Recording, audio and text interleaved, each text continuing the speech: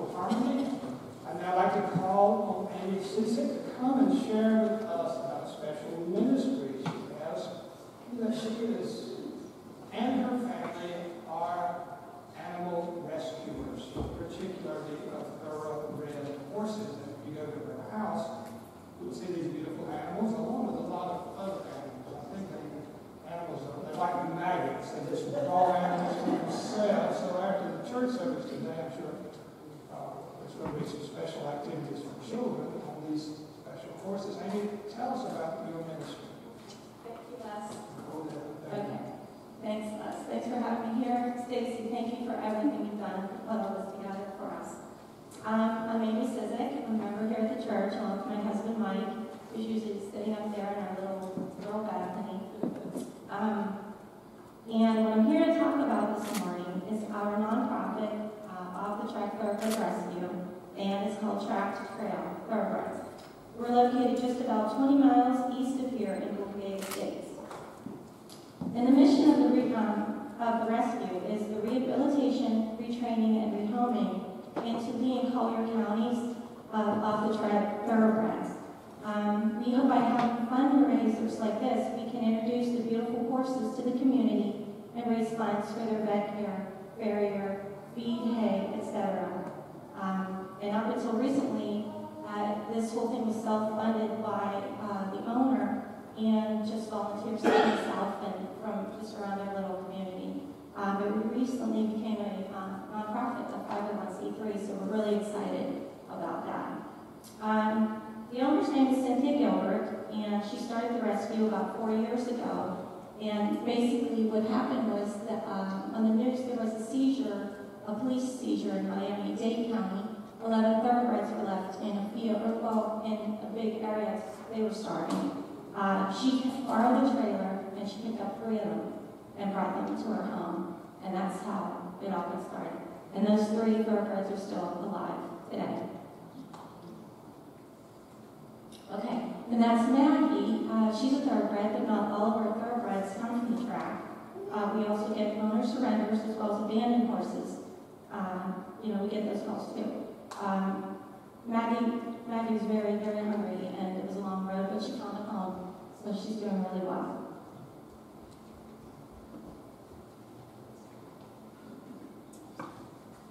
And this is one of our, our, our horses, Gunner. Gunner's here with me today, and uh, he'll be doing pony rides also.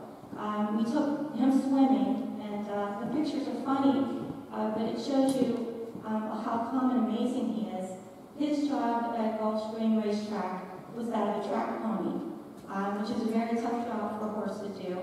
He had to be calm in all situations. There was no room for error. Walking thoroughbreds to starting gate and catching them after the race ended, or even catching a runaway who may have lost his rider during the race. Um, Gunner didn't know anything about other than life on the track until we picked him up and brought him to our home just over a year ago. Uh, he's 11 years old, and he was retired because of a broken knee. Um, and now he's my track horse. Um, this one here is such a cute pic- picture of some of the boys at the rescue. Um, they're so full of curiosity and very playful. And that's Stevie uh, next to them, retired at five years old for a tendon inju- um, injury. He's also outside, and we do pony rides too. He's very sweet and calm, um, going for a ride with a 14-year-old girl in Picayune State Park. Okay, now this is at our home, and um, right there on the corner is Lee. He's one of the horses that were from that seizure that I was talking about. Um, we adopted Zeke. He's 20 years old now, and he's just curious. The girls are on the trampoline, and he's standing there with them. Um, he's just a pasture mate for our older um, so he doesn't have a job. Um, and that's Beth, Beth and her friend Sarah, and they're having a pony ride together. Okay. And then we love to bring the horses out for any occasion. but Derby Day, Kentucky Derby Day, is just so much fun. I work part-time at Hunters Ridge Golf Club in Bonita, and the members wanted horses at the Derby Day party. It was a great time, and um, a few, there were a few of the members posing with the horses. Yeah, that's why these things come out.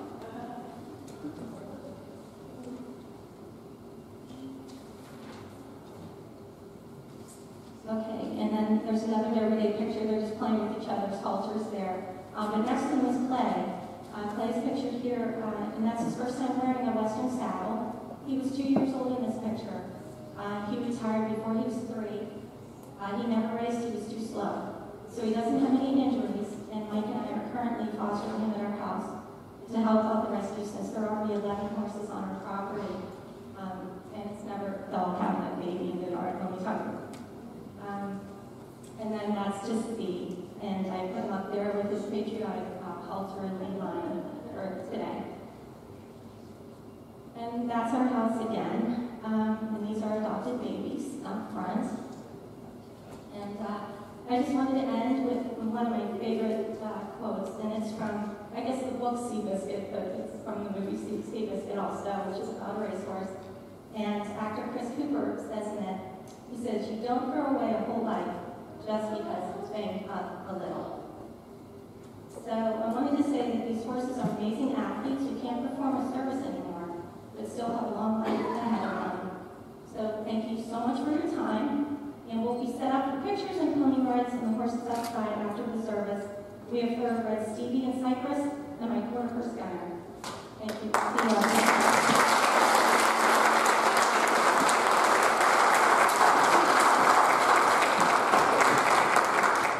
Thank you so much, Amy, and thank you for the wonderful work you do in rescuing these beautiful animals. Otherwise, uh, you know, their future would be rather, rather dim. But we see now brought them back to life and uh, uh, joy and uh, love and uh, support in your home and, and all the people who are with you in your organization. If you'd like to uh, support this cause, there is an envelope in your bulletin today. If you place your gift in the envelope, in the offering plate, you will see that uh, goes towards the rescue horses. I know the kids will enjoy riding the horses after the service as well. I'd like to call Pam now to come and bring greetings to the congregation and share with you some opportunities. Amy, that is truly, truly, truly is amazing. Um, it is my privilege as moderator of, of this church to welcome any first-time visitors to the church. So any first-time visitors we have this morning, would you please stand? Oh, here we go. We have a couple. Yes. Well, welcome. Please announce May I ask your name? Wendy, and you're from? Oh, well, welcome so much. We have a little gift this morning, which is a token of our appreciation that you found us here on Rockwood Road. It is a cup, uh, it's a mug, and on the front of that mug, it's a picture of the Mayflower where we trace our roots. So thank you so much for joining us. We hope to see you again. We have several announcements in the life of our church. They're all listed in the, in the program, but I would like to bring a few to your attention. There's a seminar happening by Barbara Pierce, our own Barbara Pierce, next Saturday at 10 a.m. The sociopath next door. Very interesting, so, so please read about it. And she'll continue her seminar on Sunday, writing your life story. So I, I've, I've talked to a few people that have attended, and it's been a wonderful, wonderful experience. September 16th, we'll have our parents' night out again, so a childcare will be provided, and the parents can go out for a, a night on the town. A couple things I do want to point out, and I want to bring some guest speakers up, please. Next Sunday 15th anniversary of 9/11. Can you believe it? 15 years since that tragic day. And we will have a wonderful, wonderful service here, and I hope that you and all of your friends can attend. There will be a special guest speaker, James Cunningham, the chief of the North Collier Fire District will be here. A procession of flags with the cadets from the Gulf Coast High School, an actual fire engine from Company 42, and then we will be remembering. So it should be a wonderful, wonderful service at 10, 10 o'clock um, next Sunday. I'd like to ask a few people to join me up here um, for some announcements. First, Sam.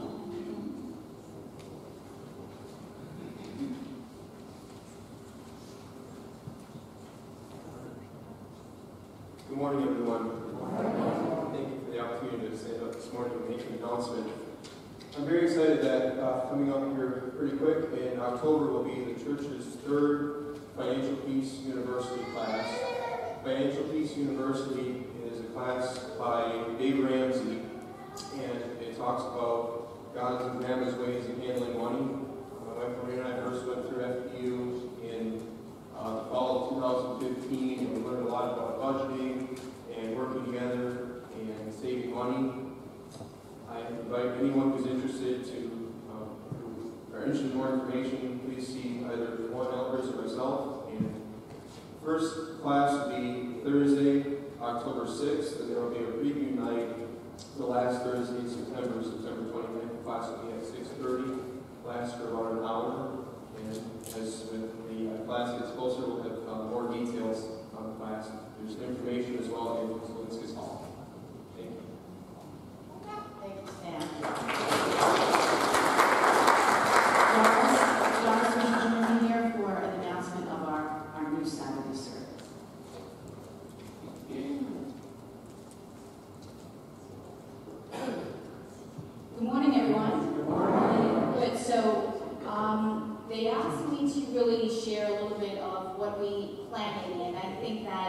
exciting time for the church because every time when you see different things, additions, events, and just anything that addition to the church service, that means the church is growing.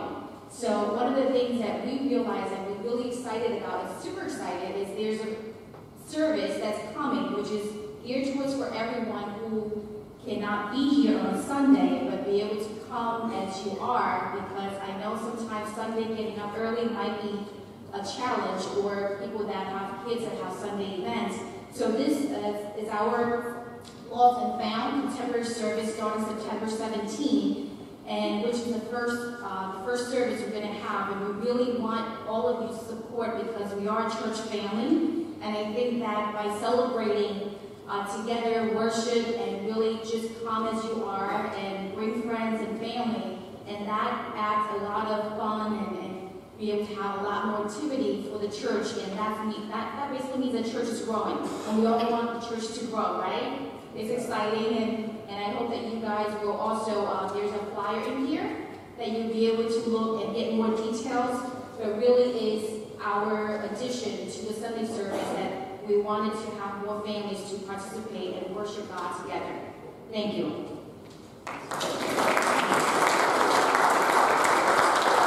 Now, would you like to join us and talk a little bit about some plans for the Christmas breakfast? You believe already planning for Christmas. Um, this started, year of the Christmas breakfast started last year. I was kind of recruited to be Mrs. Santa Claus for the police department. And um, I went, and it was an eye-opener of the needy children within Naples. And we have a mission, and our mission is to help some of these children who are out there. I had one little boy who was shuffling along, had his daddy's shoes on, because he didn't have any shoes to wear. And I wanted to hold them because he had to go up two steps to see Santa Claus. And he said, please don't lose them. They're my daddy's work shoes. I almost cried. These children need our help. So the deacons have taken it upon themselves to help. We're going to make 200 bags for these children to give to them, whether it has a little comb and brush in it, or a little truck, or a little doll. It will have something for both for girls and boys. In the back of the church, there's a jar. It's called the heifer jar. And I don't know how many people even know about the heifer program, but we're going to put it on hold until the new year. That jar, I'm hoping people will put some of their change in it to help us fill these 200 bags. And if you wish, you can also donate the money, and the deacons will use it to fill these bags. Uh, this will take place the first Saturday in um, December Maine Police Department at Golden Gate. Thank you.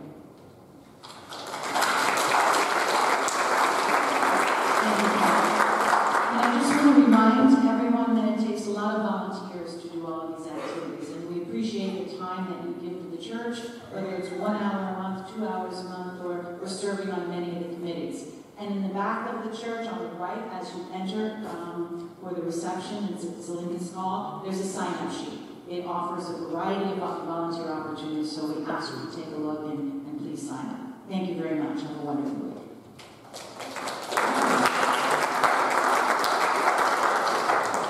Thank you for all those exciting opportunities for this congregation and beyond.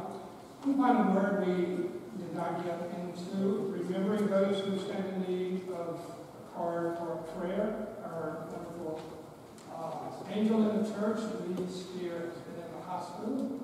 She's not doing well, but uh, she's home, so if you have a chance to send me a card and give her a call, I know it would mean a great deal.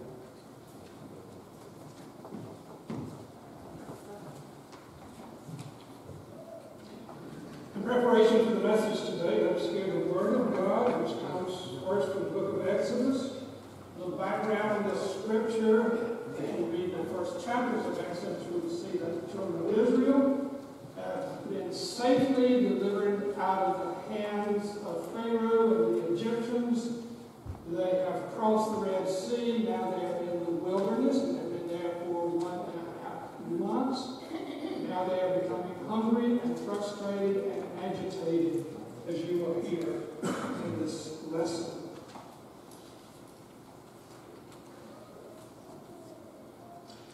And the whole congregation of the people of Israel murmured against Moses and Aaron, Aaron in the wilderness, saying to them, Would that we had died the, by the hand of the Lord in the land of Egypt. And we sat down by the flesh pots and ate bread to the full. For you have brought us out into this wilderness to kill this whole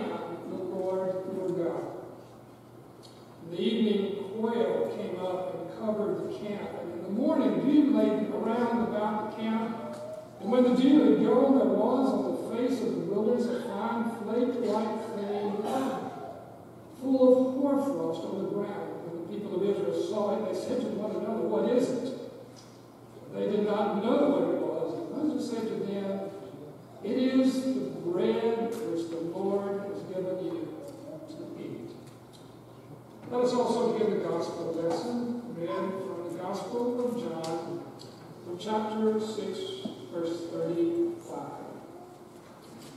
Jesus said to them, I am the bread of life. He who comes to me shall not hunger, and he who believes in me shall never thirst. May the Lord bless the reading of his word. You know, no receives more publicity in the news media or in our lives than the subject of hunger.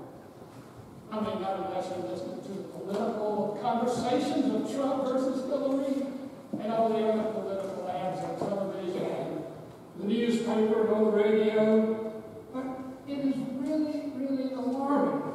People around the world know what hunger is. In fact, hunger in our world in this 21st century is real. Now, we don't feel it so much here our community, although within 10 miles of our church are people who are hungry, but so many ways we're isolated or insulated from the reality of hunger in this world. What would children do in our school systems if it were not for a free lunch or breakfast? Many of them would sit there all day not having anything for breakfast or for lunch. How can a child learn if the child is hungry? We're familiar with the graphic pictures of hungry children in some distant place, protruded bellies, you know, in remote places, usually preceded by a warning. These images may be alarming. Oh, don't even look. And somehow we feel, well, if you don't look at it, it's, it's not really real. It's, it's not happening. That's not how it is. And yet, yes, that is how it is. There's so many organizations in the world that reach out to the hungry, more than we could enumerate. Think of CARE, Doctors Without Borders, the International Red Cross, Refugees International, Save the Children, UNICEF, World Vision. Yes, there is hunger in the 21st century in the world in which we live. Perhaps you read the editorial this morning in our newspaper. Join us this morning to feed the hungry. An article by CEO of the Harry Chapin Foundation to feed hungry children Collier and Lee County. And the supply of food just seems to uh, go away. There's always, always a need for more food. Yet hunger is not unique for our time. It's always been around. Didn't Jesus say when he walked on the earth, you shall always have the poor, slash, you will always have the hungry. Finding food to feed the hungry is and has been indeed a struggle. In the lesson today, Israel is a month and two weeks out of Egypt. It's, it's six weeks away from being delivered from the bondage of Pharaoh and the Egyptians. Feeding such a multitude of people would be an enormous task. Here's thousands of people out in the wilderness hungry, they were running from Pharaoh across the Red Sea. Uh, they weren't thinking about food, they were just thinking about their lives and saving their lives. And here, six weeks into the wilderness, it suddenly dawns upon them by the feeling of their belly, we are hungry, we don't have anything to eat. So preserving their life was the immediate concern. But here they are safely across the Red Sea, in the wilderness, and what little food they brought with them was already exhausted. So people are getting really, really hungry, and along with their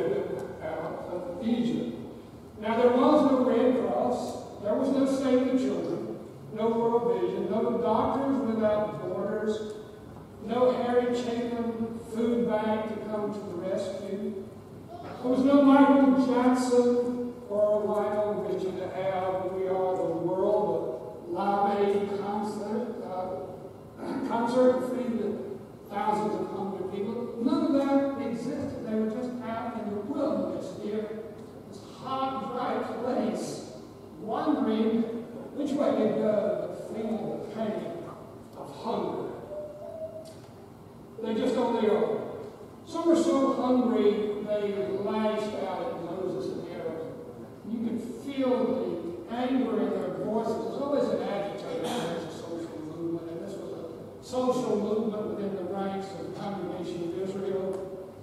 Agitators were exciting the people, saying to Moses, Listen up. Why didn't you just leave us in the, in the flesh pots, in the flesh pots and the food in Egypt? At least we had food to eat. At least we were going to lived. But here we are out in the wilderness. But God spoke to Moses and said, Don't worry. Food's coming. I guess Moses said, Yeah, right. but he believed God, as he should have. And daily it began to rain bread from heaven. And he said to the people, This bread will fill you. You will all be just for a day, but it's going to happen every single day. There'll be meat from the quail in the evening, and in the morning you will find the bread on the ground. In fact, it's going to happen from that time.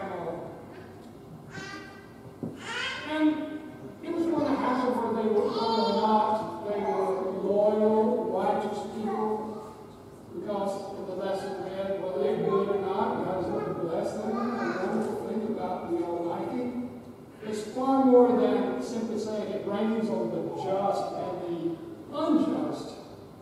It goes beyond that. It's about God's grace and God's goodness. Even if someone doesn't follow God's way, God is still good. Not only did it come every day, but we read in the lesson, on the sixth day, when you gather the bread, it's going to be twice as much. And you get a load of that. They're going to be fed five days a week, but on the sixth day, it's going to be twice as much. Well, what is this message about? First of all, it's about man's need and God's capacity and grace to supply our need.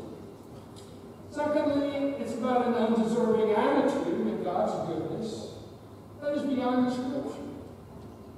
Thirdly, it's, it's about ingratitude. Let's think about ingratitude for just a moment because you see, uh, we live in a world of ingratitude. We do. You what just happened. A month and a half out of Egypt. In Egypt, they had worked in the spring heat for Pharaoh. Can you imagine how hot it was in Egypt? The sun boiling down. Little to eat, little to drink. Just pull those huge, huge stones to build Pharaoh's pyramids.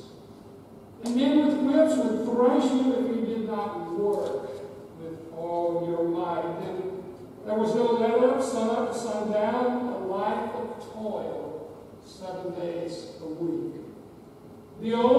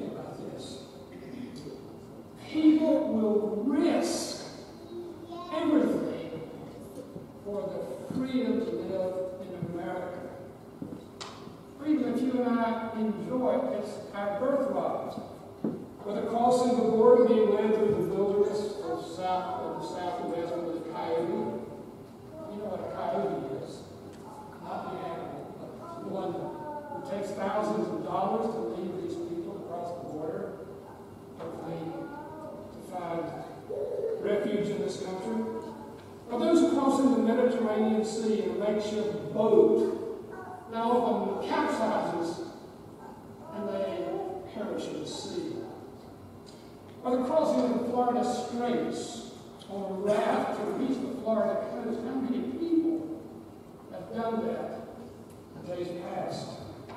Just to have the opportunity of a better life in this country.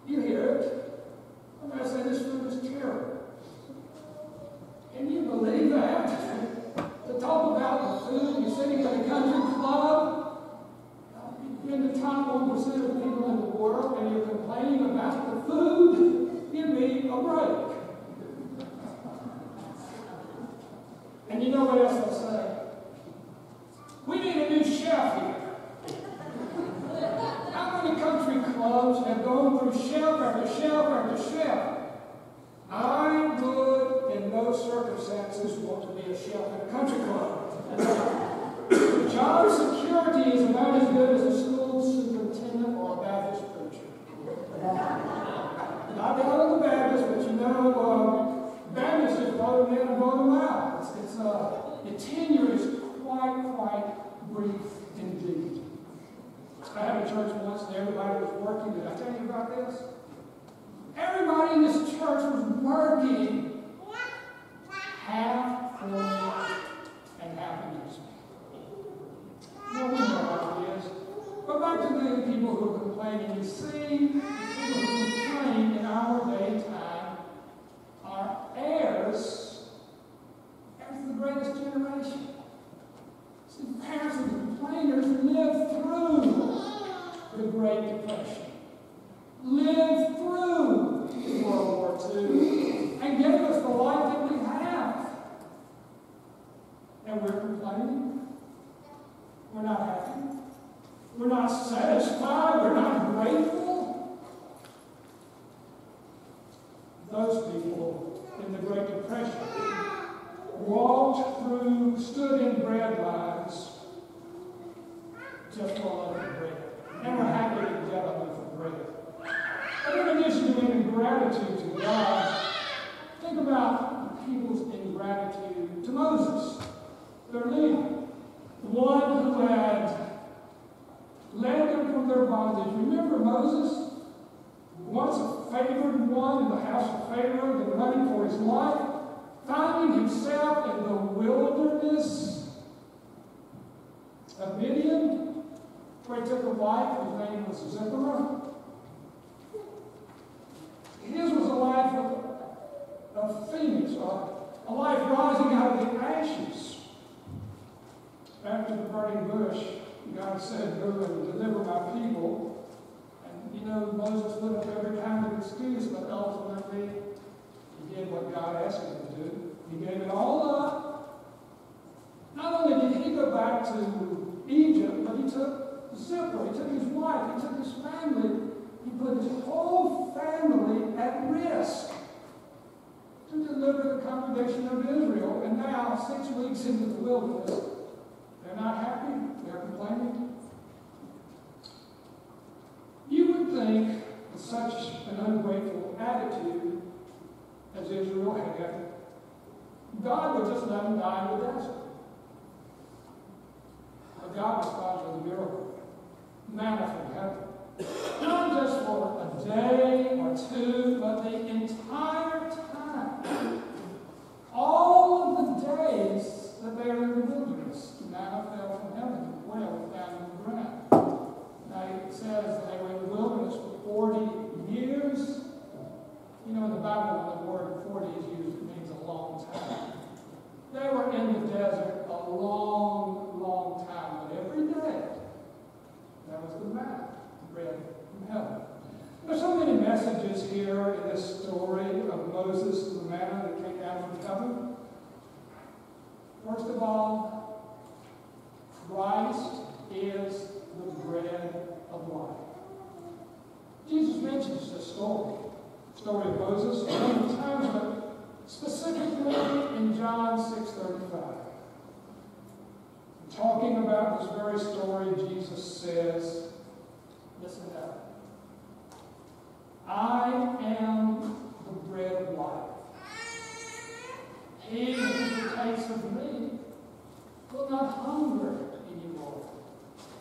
And he who believes in me shall never thirst.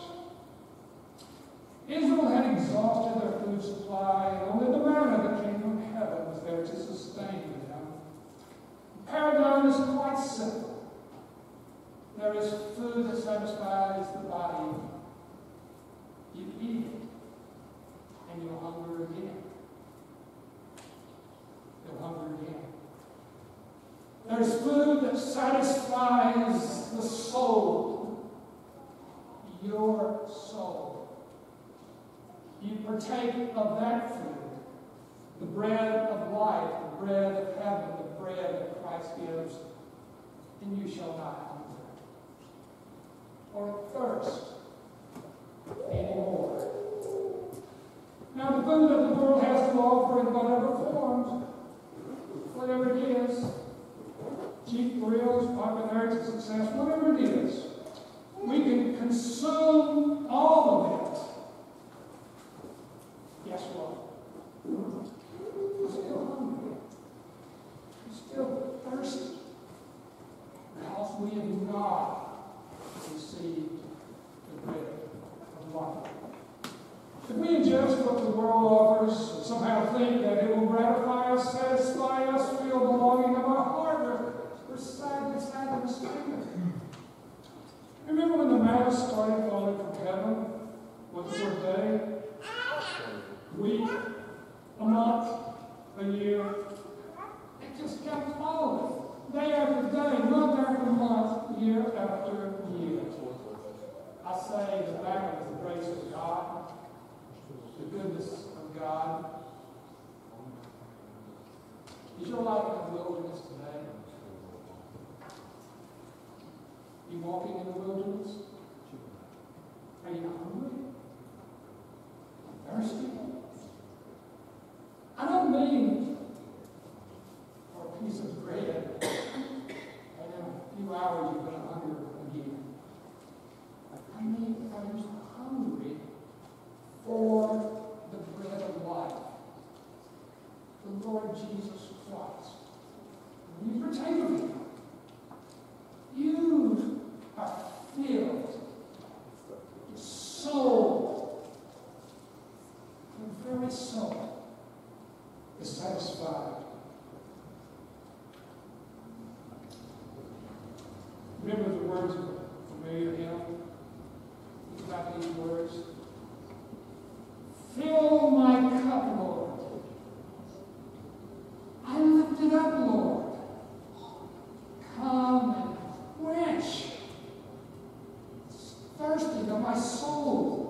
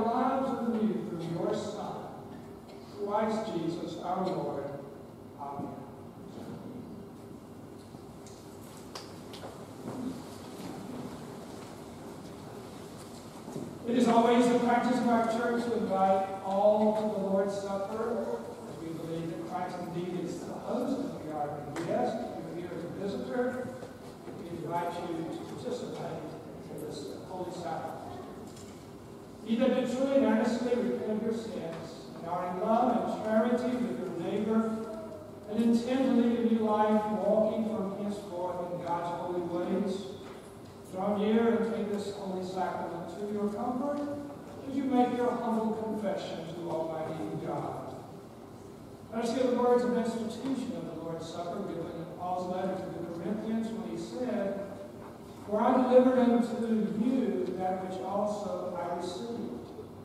That on the night in which Jesus was betrayed, he took bread, he blessed and broke it, and gave it to his disciples, saying, This is my body, which is broken for you. In the same way, after they had supped, he took the cup. He said, This is the new covenant in my blood, which is shed for you.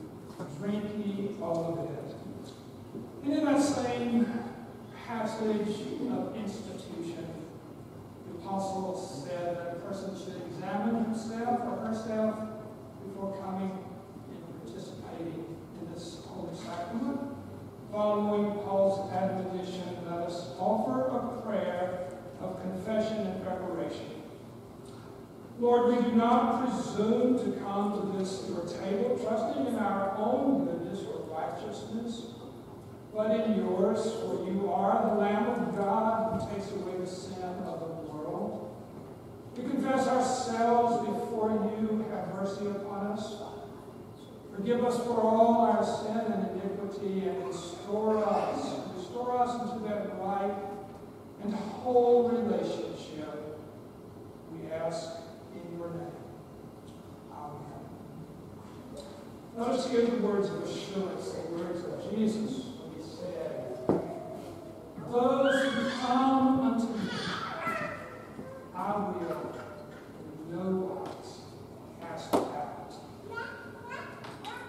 The gifts of God, the people of God, come for all things